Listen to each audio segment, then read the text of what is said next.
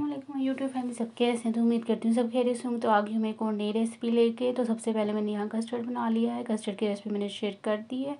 तो यहाँ पर मैंने इसको कस्टर्ड को ठंडा होने के बाद इसमें सबसे पहले क्रीम डाली है।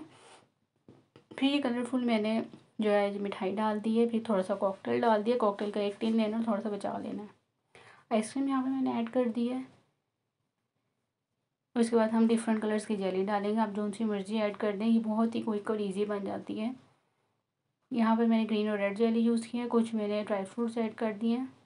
कुछ हम डेकोरेशन में इस्तेमाल करें तो यहाँ पर मैं खोया भी इस्तेमाल कर रही हूँ। अच्छे से इसको मिक्स करने के बाद इसमें हम कलरफुल सेमियाँ डाल देंगे। तो ये पहले से मैंने बॉईल करके रखी हुई है। ये भी बस आप लोगों ने इसमें इस तरह से ऐड कर देनी है। तो ये देखें मैंने इसमें दो बाउल बना लिए हैं।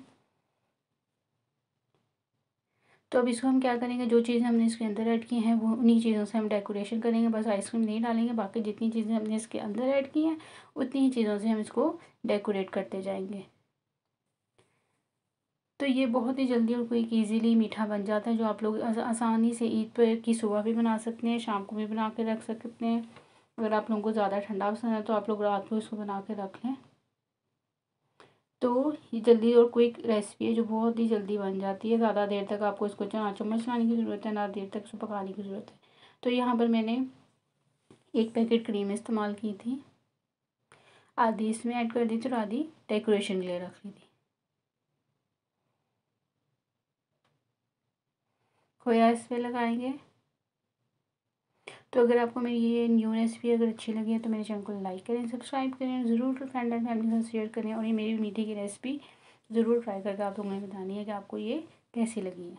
तो ये देखें, इसमें मैंने जो मिठाई यूज़ की थी डिफरेंट कलर्स की स्वीट्स से भी डेकोरेट कर लेंगे दोनों बाउलों को अच्छे से।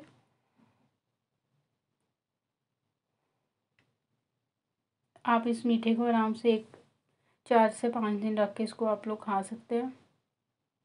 बस इस तरह से इसको डेकोरेट करते जाएँगे। जितनी चीज़ें हमने इसके अंदर ऐड की, उतनी ही इसके ऊपर डालते जाएँगे। मैंने एक दफ़ा जेली का इस्तेमाल किया ए रेड जेली यानी स्ट्रॉबेरी और हमने इसमें बनाना जेली यूज़ की है। एक कॉकटेल का टीन है। एक क्रीम का पैक है और हाफ़ लीटर आइसक्रीम है। हाफ़ लीटर इसमें यूज़ की थी, बाकी नहीं यूज़ किया इसलिए आपको हाफ़ लीटर बता रही हूँ।